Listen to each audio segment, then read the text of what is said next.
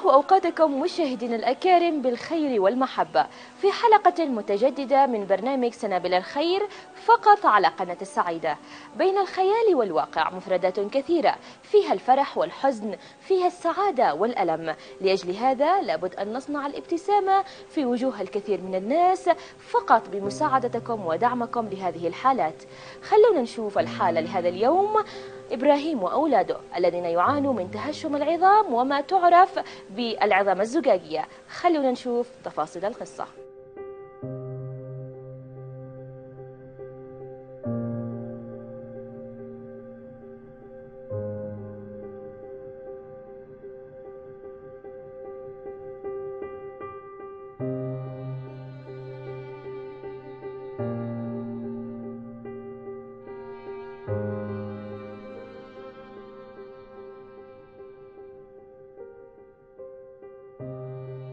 أعزائي المشاهدين وصلنا لحالة إبراهيم لهذه العائلة التي تعاني من مرض سنتعرف على تفاصيل المرض لكن مع نتعرف على إبراهيم مرحبا إبراهيم الحمد لله آه كيف حالك؟ الحمد لله عرفنا باسمك كامل إبراهيم من؟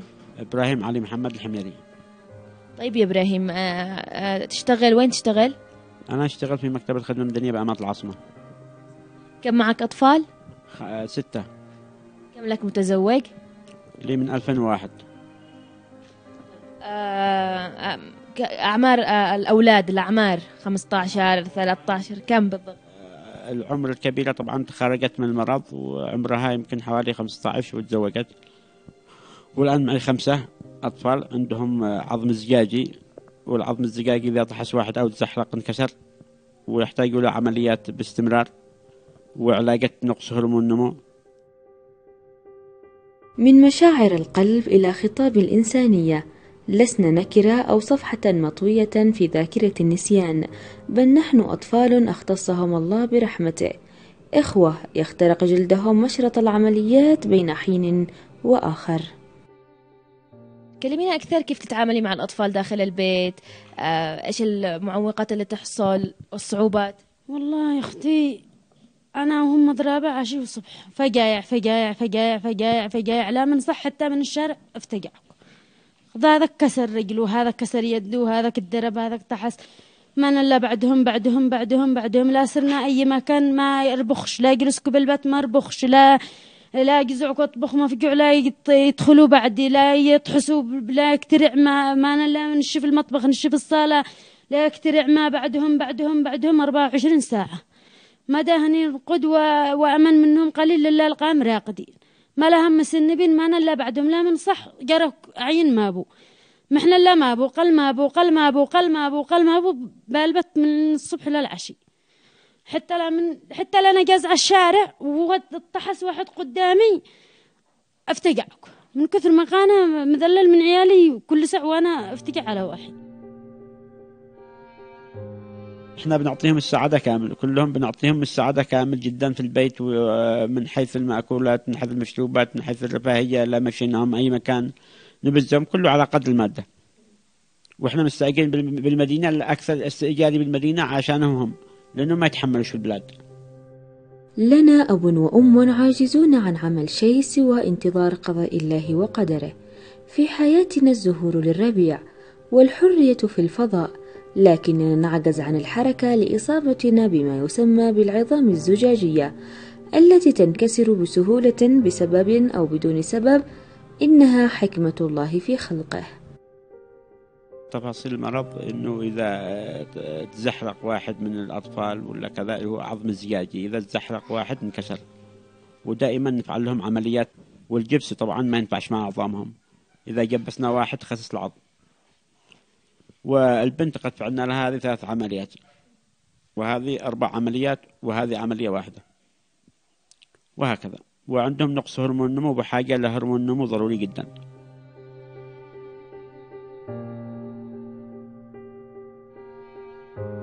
ممكن تكلمنا أكثر عن التكلفة الكلية لكل شخص؟ يعني التكلفة التكلفة الكلية المال لكل شخص لكل آه ولد. كل ولد. والله من أدوية من عمليات من أشياء كثيرة. والله تكلفة العمليات أنت تعرفي كم مستشفى الخاصات كم بيكلف؟ كم يعني؟ يعني بحدود 200 ألف 300 ألف. العملية الواحدة العملية الثنتين يعني آه، الثنتين بعد 300 ألف 200 ألف 250 ألف.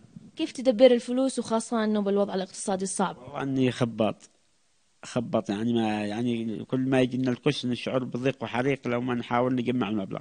طيب كم إيجار البيت؟ إيجار البيت 28000 طبعا إحنا سايقنا عشان الجهال سكناهم بالمدينة عشان مرضهم. طيب عملك حاليا في معك دخل آخر؟ طبعا الرواتب موقفة. في معك دخل آخر تحصله مثلا؟ ما, ما بيش دخل. ما بيش دخل. يعني موظف ما بيش مرتبات. كيف يمارسوا حياتهم الطبيعية في اللعب في هذه الأشياء؟ ممكن تكلمينا أكثر عن هذا الموضوع؟ قام قام يلعبوا وإحنا نهددهم. اجلسوا رازي اجلسوا رازي. لا من يخبط هذاك لا من يتكب هذاك لا من يدهف هذاك لا من قام ما, يجلس الا مسن بعدهم لا لا يتخابطوا وهذاك لا من حد يدهف الثاني. ما داري إلا رب العالمين. طيب هل في من أطفالك يدرسوا منهم بالضبط؟ والله حافظ يدرس بالمدرسة المقبلة صف رابع. وتخابط هو الوالد وذك آه، عصر يده لما كسر بنانته يعني اصبعه كسر إصبعه. وقع له الظهر حوالي ثمانية كسر بن بن يده. والثانية بانها ثلاث عمليات. من غير الأكسر دي كنا نقبسها قبس قبس قبس قبس قبس لو ما ضعفت رجله واعتطفت. بعدها عملنا لها عملية. والمرة الثانية عملنا عملية وعرف وعملية طالع بالسرفة اكتسرت عملناها نحدة ثانية. وهذه الثالثة بانها ثنتن ثلاث عم... ثنتن عملية برجله وثلاث بيده. وهذه بانها عملية كسرتها هناك حتى وسط الصالة. والله إنه فاق المفرشة. كلمينا إيش تتمني؟ أتمنى نجزع وأدرس طيب تحبي الدراسة كثير؟ طيب إيش الأشياء اللي تحسي إن, إن إنك مختلفة على الآخرين أو الآخرين مختلفين عليك؟ الأطفال الأطفال اللي بالشارع مثلا أو الأطفال اللي تشوفيهم إيش الاختلاف اللي في بك أنت وهم؟ يعني هم يفرحوا ويضحكون جالسة في البيت. تجلسي إيش؟ في البيت. شيء يعني تدرسي تي... okay. طيب إيش اسمك يا حبوب؟ حافظ طيب إيش تتمني يا حافظ؟ تكون مستقبل إيش تكون شي تكون دكتور شي تكون مدرس إيش تكون دكتور. انت بصف كم يا حافظ؟ رابع شطور ولا لا؟ القوة لا تأتي من المقدرة الجسدية إنما من الإرادة التي لا تقهر. لا يعرف التشاؤم طريقه في حياتنا فالحياة لا زالت جديرة بالاهتمام إذ كنا نبتسم. هذه آثار العمليات التي تؤلمنا وكلما تعافى إحدانا مرض الآخر. أختنا هذه وجرى خطأ طبي فقدت قدرتها على العلاج إلا بإرادة الله في الخارج. هواجس كثيرة تخيم على أرواحنا ولا ذنب لنا سوى أنه نتيجة لزواج الأقارب. ومع ذلك فالحياة لنا نحن الإخوة لا طعم لها بدون الأمل. إيش سبب ظهور المرض؟ والله وراثي. وراثي مني يمكن. كيف كنت من قبل؟ اشرح لنا عن حالتك الصحية قبل. تكسرت أنا من قبل وفعلت عمليات والآن بنمشي وموظف وكل حاجة. طيب هذه لما سقطت إيش حصل لها بالضبط؟ ضربت بال وسط الصالة. وكسرت يده. طيب آه، في هذيك الحالة إيش اللي حصل له ما قدرش يقوم أو كيف بالضبط؟ كسرت يده وإحنا قرينا معلش معلش قال وهي كانت تصيح تصيح تصيح وأنا قرك. مسكها جينا ويدها مكسور. إيش اللي سويتونه بالضبط بعد ما حصل هذا؟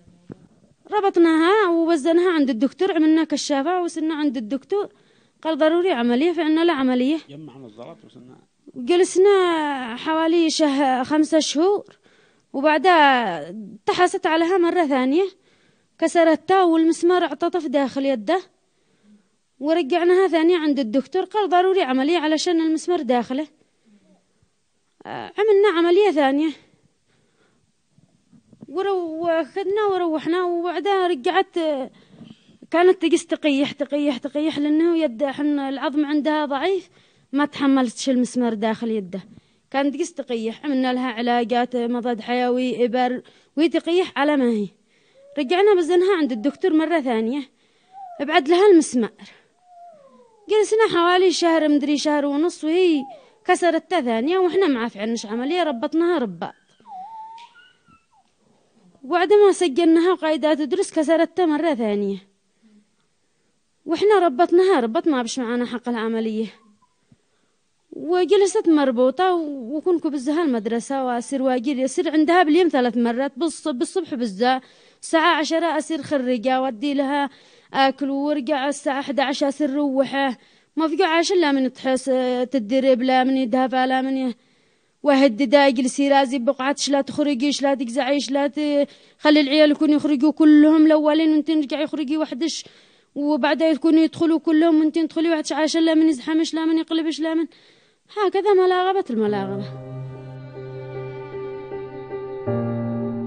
كلمنا أكثر عن حالة إحسان. والله قلت ليش إحسان تكسرت سبع مرات وكنا نفعل لها جبس من أول. كنت أسعف هذه الثورة وفعل لها جبس. وبعدين اتضح أن الجبس بي بي بيخرب عظامها. أه تكسرت مرة ثانية خلاص رجعت فعلت لها عملية الأولى والعملية الثانية والعملية الثالثة. طبعا العملية الثالثة يعني أه فعلتها عند واحد ثاني خربها وما كان عنده خطأ طبي. كيف بالضبط؟ كيف خربها؟ والله كان عظمها متقوص. كان بإمكان الدكتور يفعل عملية ويعد لها عظمات تقوص ويصلحها وتعد سواء. أكد العظم التقوص هذاك المكان المتقوص أكد العظم واللي جنبه.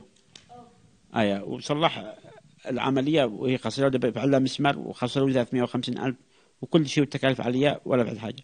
في حل آخر لإعادة العملية؟ يحتاجوا إلى علاجات والعلاجات غالية جدا. كم تكلف مثلا يعني؟ والله علاجات كالستونين مثبت الكالسيوم في العظام يعني يحتاجوا بالسنة مر مر يعني إبرة تكلف لها 100 وشوية. وعندهم علاجات فيتامين د وكالسيومات ضروري يستخدموها بشكل مستمر. طبعا ضعف المادة ما فيش. عندهم نقص هرمون النمو ضروري الإبرة الواحدة كان قبل أربع سنوات 3000 كلهم يستخدموا عندهم نقص هرمون النمو كلهم. والعلاجات موجودة. الآن يعني مدري بكم هي. لا أدري بكم هي الآن. إحنا على ما نشوف الآن إحنا والمشاهدين إنه في رجل طويل ورجل قصير. يعني هل في حل إنه يكون نفس المستوى؟ تحتاج إلى زراعة عظم. وزراعه العظم ما بش في اليمن. أنت تعرف إنه ما بش زراعه عظم باليمن؟ تحت بالخارج نعم هؤلاء هم أطفال إبراهيم الذين لا يستطيعون أن يعيشوا حياتهم بشكل طبيعي. عظامهم الشبية بالزجاج تسبب لهم الكثير من الآلام وتعطيهم الإرادة والأمل بأن الله معهم وأن الخير رفيقهم. والله الصعوبات نواجهها هو تواجد المادة المال لهذه العمليات. ونقص الأدوية. ما ما مش موجود أدوية ولا قيمة الأدوية. لهم حق هرمون النمو وحق الكالستونين مثبت الكالسيوم في العظام يعني قيمة الإبرة الواحدة بين حوالي 100 وشوية 100000 يحتاجوا إبر حق نقص هرمون النمو يحتاجوا حق يعني ما حاجة ياكلوا ويشربوا ويرتاحوا يشتوا حليبات يشتوا كذا يشتوا كذا. إحنا ظروفنا قاسية ما فيش معنا ولا حاجة. إن شاء الله بإذن الله فاعلين الخير لم يتجاهلوا عليكم بإذن الله. طيب ممكن تكلمنا أكثر عن احتياج الأطفال؟ يعني إيش الأشياء مثلا مرضهم يحتاج أكل معين يحتاج شيء معين؟ والله من حيث المأكولات قد إحنا بنوفرها صراحة يعني. من حيث المأكولات إحنا بنوفرها. إحنا بنتكلم على علاجات وأدوية ما إحناش قادرين نشتريها وعلى عمليات ما إحناش قادرين نعملها وعلى إيجارة البيوت في ظل هذه الظروف ما, ما بش معنا حق إيجار البيت. يعني قد الآن قد طلع 300 ألف. يعني ما بش وإحنا يعني سكن في داخل داخل العاصمة يعني قريبا من المستشفيات قريب من الدكتور. طيب ممكن توجه لنا مناشدة آه لفاعلين الخير من شان حالة أو أولادك أتمنى من فاعل الخير والذي التجار والذي هم يعرفوا أو يسمعوا مرتاحين كذا أنهم يساعدونا. يساعدنا في تحمل المسؤولية. بورك من ملأ حياته بعمل الخير لأنه أدرك أنها أقصر من أن يضيعها بعمل الشر. فليس للحياة قيمة إلا إذا وجدنا شيئا نناضل من أجله والعمل لاستمراره.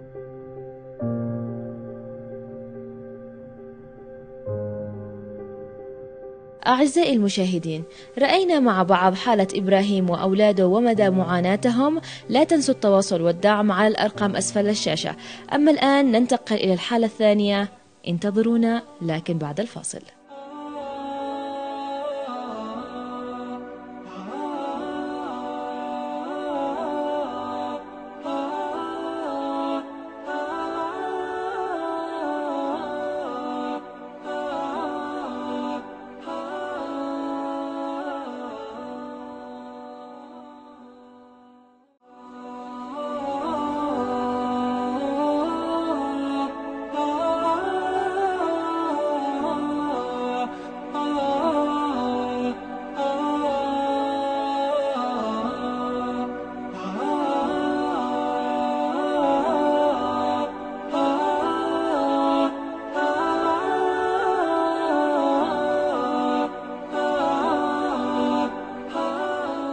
مرحبا بكم من جديد. الكثير من الآلام والأحزان لابد أن تتحول إلى لمسة أمل وهذا ما نحاول أن نوصله في برنامج سنابل الخير على قناة السعيدة.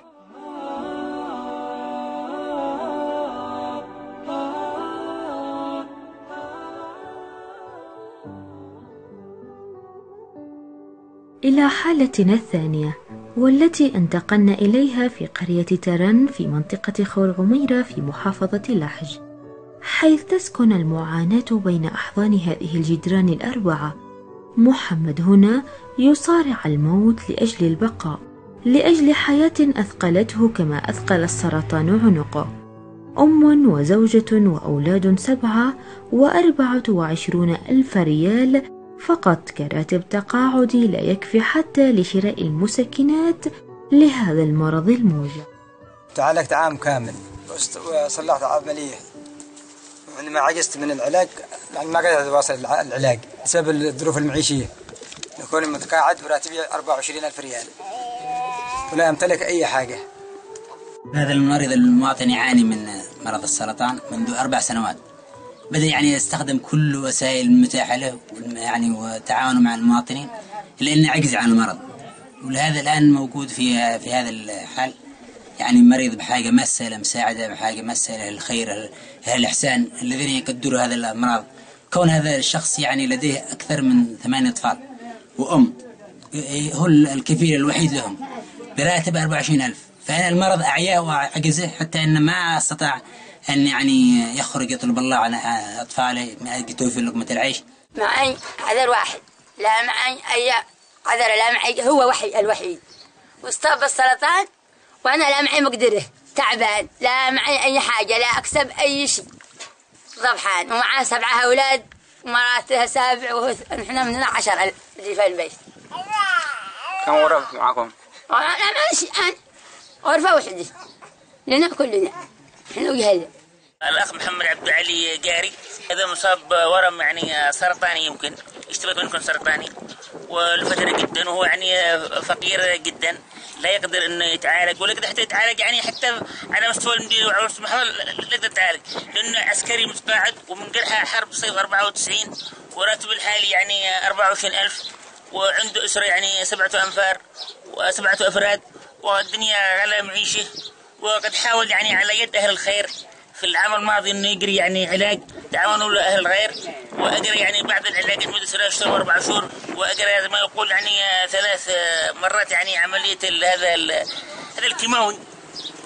وبدا المرض يخف منه كما يعني تم يعني استئصال الورم يعني كان الورم صغير جدا العام الماضي واستئصل منه الورم.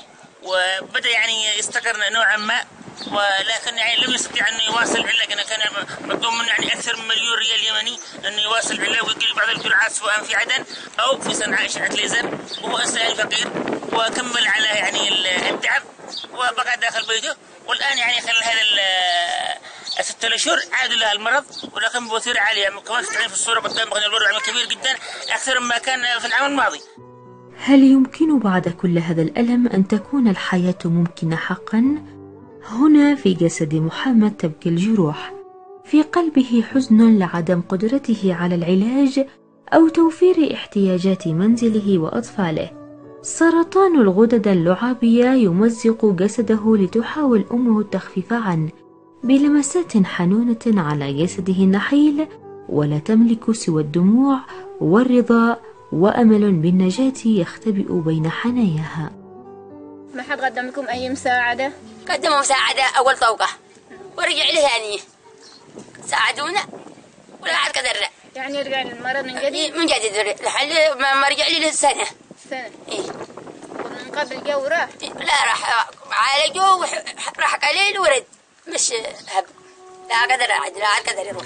أثناء الليل يعني أسمع ونين هذا المريض وهو يئن من شدة هذا الورم السرط- السرطاني ثم نأتي إليه فنجد أمه تبكي وأطفاله والحالة صعبة جدا يعني. لا أستطيع أن أعبر الكلمات تخونني في التعبير في هذه اللحظة. هؤلاء هم أطفاله السبعة الذين يتلقون العون من الجيران لاستكمال تعليمهم ولو ببطون خاوية. إذ أرادت أن تصمد للحياة فلا تأخذها على أنها مأساة. لكن هنا تكون المأساة أكبر من احتمالها. أدرس في منطقة هويرب في مدرسة خالد بن الوليد وأبي ماضي مصاب بمرض السرطان. وما ما ما نقدر نسهر نودي حق المدرسة مصاريف جلسنا على معيش راتب أبي 24000 وأخواني منهم سبعة. وأخواني يدرسوا واحد صف خامس واحد هو ثانوي واحد أول واحد ثالث. وما يقدروا يدوا حصة مصاريف المدرسة. أولاد المريض محمد عبد علي آه، لم يتلقوا أي دعومات أولاد يدرسوا في المدرسة.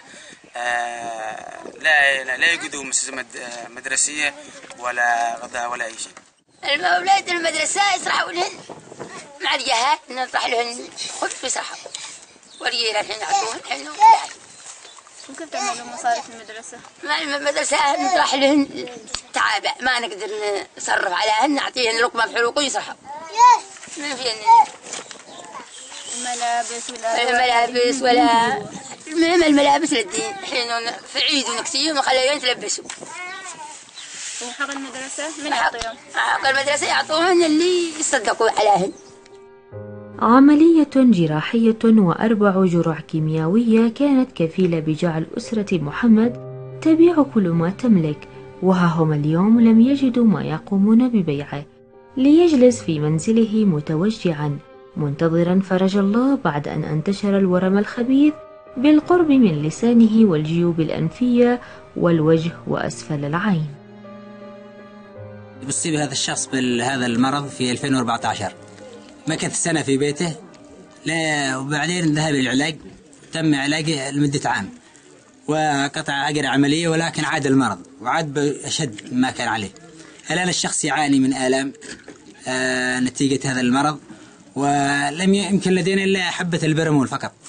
أعطينا قلت هذه ولكن هذا المرض بحاجة يعني علاج استئصال شامل لأن العلاج بحاجة لإمكانيات و... والإمكانيات يعني بسيطة لدينا. نحن نقدر نساعد يعني بأمور متاحة لنا فقط. لكن بحاجة لدعم يعني أوسع لأن المرض خطير وبحاجة لتسفير الخارج إلى يعني تلقي العلاج. الآلام يبكي وصل عندي لحبة بخمسين بلدون ولا معي أي دواء. لدي والله بلدون البلدون شرب والله من الكباسي يشيل ويعم. مهدأ. أيوه هدى شوية وكامل يبكي له قليل وسال لحد ما يتحرك له يكون مقرب على سنة لدي لعد حتى هويري بيروح والله ما يقدر يمشي. نعم فيه حلة لا يقدر يمشي. دوخة كم على هذا الوضع؟ والله كي من ما يقع لي حبة بلدون والله والله قلت لك هي مش عادي قادر البيت؟ لا لا لا البيت يقدر النفسي لا صلح روحي. جالس بالبيت؟ هو جالس في البيت ما يقدر يتحرك مكان. يشرب بلد يعني أكثر من 12 حبة بيجيني الألم ما نامش طول الليل. الألم قد يمشي لها. الألم متى يجي؟ ها؟ يجي في النهار في الليل. في أي وقت يجي واصل ألم إلا على مهديات بس. الألم لا في؟ ها؟ الألم الآن يمشي لا فوق للراس ولا داخل اللسان شفها أوجاع زرعت في حقل من الرجاء الممزوج بالرحمة. يكفي أن ننظر إلى قلب هذه الأم الباكية على ابنها وقد أنهكها الزمان ورسم تجاعيده على جسدها النحيل فهي تقاوم الحياة بإصرار عجيب لا مثيل له من أجل فلذة كبدها. أسرة تواجه مصيرها كغيرها من الأسر ومناشدة توجع كل من ينبض قلبه بالحياة. أنا اشتي استصولي المرض هذا الورام. واشتي أعود اشتغل أصرف على جهالي لو كان راتب حقي ما يكفيش. 24 ألف ريال متقاعد. الألم وقت يبكي الحين عندي. ولا يقدر يمشي إلا على مهدي يندير دواء. الحين يبكي يابت جنبه ويكون يحترق ثربه فيه ولا معي حاجة. بس على مهدئات. هي على مهديات نشتري له. بس. من أسوأ ما يمكن أن يحدث في الحياة هو أن يكون في قلبك كلمات لا يستطيع لسانك أن يترجمها. هذا هو حال محمد. أنا أدعو فعيل الخير ووزارة الصحة وال... نعم من أي من أي من أي اتجاه؟ لاستئصال هذا الورم وتعالجوا أي مكان. تودوا وتندوا لي. من الله هذا؟ كما كدور كده. وأشتري منكم علاج ومساعدة للجهال ومساعدة لأي حاجة. وهو تعبان لا مع أي حاجة. ضبح الراتب 24 لا نقدر حستان المهم في البيت نعيش. تعب. ما نصلح. والمرض تعب لا نقدر ندي حق بلد ونحسه ولا دواء ولا مع أي حاجة.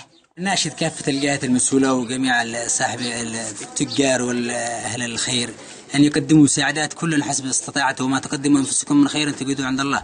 فهذا العمل ليس لليوم وإنما الغد. ويعني ندعو للتعاون مع هذا المريض كون لديه أطفال ولديه يعني أطفال يذهبوا المدرسة وهم بحاجة ماسة إلى من يدعمهم وهو الكافل الوحيد لهم. إذا أصبح عاجزا طريح الفراش لا يستطيع أن يقوم. ولذلك يعني إذا تم علاجه سيعود إن شاء الله بالخير وسيطلب الله عن يعني يصرف عن عياله.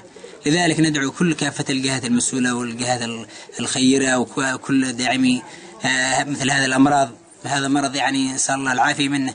وما تقدموا أنفسكم من خير تجدوا عند الله. ندعم فاعلين الخير النظر إلى هذا المريض ومساعدته وحتى يستطيع أن يعول هذه الأسرة. هذه الأسرة مكونة من سبعة أطفال. كيف يستطيع أن يعولهم؟ الرجل تقريبا سنة وهو قاعد في بيته. سنة وهو قاعد في بيته والظروف كانت يعني تحيط بالظروف صعبة والرجل وحيد يعني. لولا الألم لكان المرض راحة تحبب الكسل. لولا المرض لافترست الصحة أجمل نوازع الرحمة. محمد بانتظار مساعدتكم على الأرقام الموجودة أسفل الشاشة. فالأمل بالله وبكم كبير وكبير جدا. أعزائي المشاهدين شفنا مع بعض حالة محمد وحالة إبراهيم وغيرها من الحالات التي سيتم عرضها في برنامج سنابل الخير. للتواصل والدعم مع الحالات يرجى التواصل على الأرقام أسفل الشاشة. أما الآن نكون نحن قد وصلنا معكم إلى ختام حلقتنا لهذا اليوم. أمل أن ألقاكم في الأسبوع المقبل وفي نفس الموعد. دمتم في رعاية الله.